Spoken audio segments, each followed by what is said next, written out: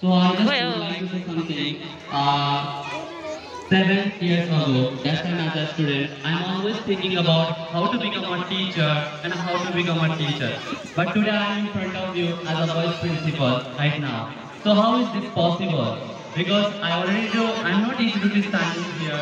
I already do many circumstances and then today I'm standing here. So what I'm trying to say, I know that you believe that you are supposed to take the path that your parents, that everyone expects of you. But I am here to tell you, dream, dream whatever you want. You will achieve it. You will fail.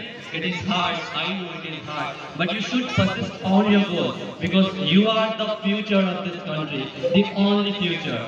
You are changing this world. I am not because you are new generation.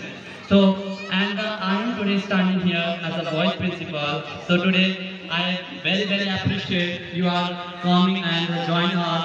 So thank you so much, and thank you showering your love with a lot of. I'm appreciate for your love, and thank you. And once again, happy Independence Day, all students. Thank you.